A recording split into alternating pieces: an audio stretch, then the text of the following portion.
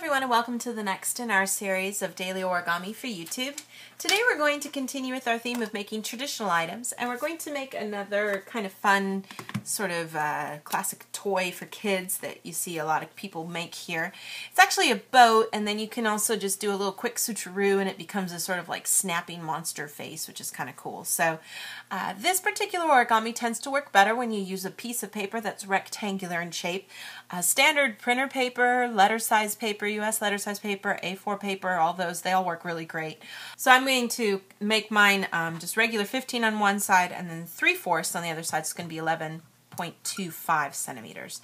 And uh, you just need one sheet. I'll let you guys know the dimensions when we're done so that you know how big it's going to be. It winds up being kind of small, so you're better off if you make something kind of big. Start off with big paper and then it kind of turns out even better. Um, I have my regular square paper if this is what you have to start. I just want to eliminate a little bit on the side, so I'm just going to kind of put a little crease here to kind of mark where my center is and then fold one of my edges into that. And then that's just the little bit that I'm going to cut off here before we start. And that's giving me the uh, 15 by 11.25. The nice thing with this origami is that you don't need to have a specific size paper. Really any kind of rectangular shape works pretty good. You do just need to make sure it's rectangular because it gives you a little tab on the ends to lock things up at the sides. So I've got my sort of rectangular paper here now. And what I want to do is starting with uh, color side facing up, I'm going to go ahead and fold my paper in half.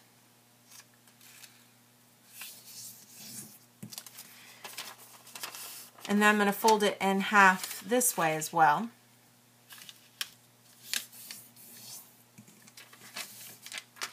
I'm just going to go ahead and keep things folded in half like so. You want to make sure you've got the white side on the outside. It kind of makes things turn out a little better when we're done. So I've got everything here, and if I take these top edges and fold down, the key to this, if you've got the paper right, is you should have this little bar of extra down here after you fold down here. We'll fold both sides down. You should have a little bit of something extra down here, and how much doesn't really matter. We just need to make sure we have a little bit there so that we can take the uh, layer that you see on the top and fold straight up snug to that edge flip it over and do the same thing on this side too so that we've kind of gotten a way to lock things down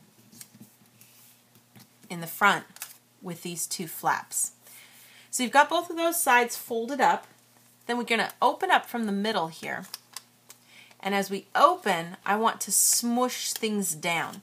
Now you're going to notice as you pull open these two parts here and you kind of uh, swivel it around to fold down the other way, these two little flaps are going to be in the way. Just choose which one, tuck one inside the other. Doesn't really matter if it's left or right. Just get those both folded down so that we get something that looks like this. And I'm going to take this top layer and fold it straight up to my tip so that I can get this extended out and it should make a nice crease right out to the points on either side. Turn it over, do the same thing on this side too. Get it folded all the way up there. Now I'm going to do another collapsing by opening everything up here in the middle again and just smooshing the sides towards each other so that we can get it to fold down into the middle again. Then as a little last bit, we're going to do the step one more time. I'm going to take these little sides and fold straight up, and this does get small as you go turn it around and fold the side up here too. This one's really heavy. It's got a lot of layers of paper, so make sure you try to get it as smooth and as straight from edge to edge as you can. Get a good crease. You should have a nice little triangle now. And if you open up from the triangle just a little, you have these two flaps that you see here. You can pull these out and open to reveal a nice little trapezoid here and that gives you your boat. And you should have nice little, you could smooth that edge over so that you get a nice band of orange color on the sides and your little sail there in the middle, which gives you a cute little boat when you're finished. And then the um, other thing you can do is you can collapse it to make it into a little kind of snapping monster toy. Let me tell you the dimensions of the boat really quick just before we do that though. So if we look at how big this boat is, we can go ahead and just measure from side to side here. It's about 11 centimeters wide. or long I should say. And stands about not quite three, so about 2.75 centimeters tall. And that's just for the boat, to kind of give you an idea.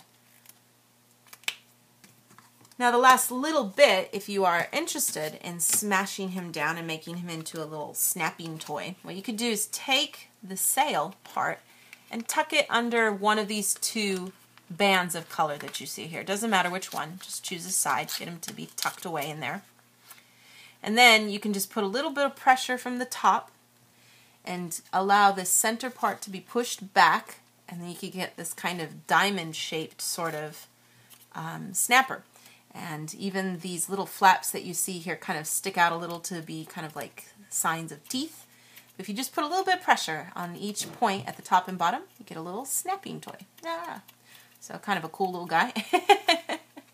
but that's just sort of a little variation then of this particular project. So uh, thank you guys so much for watching and we'll see you next time.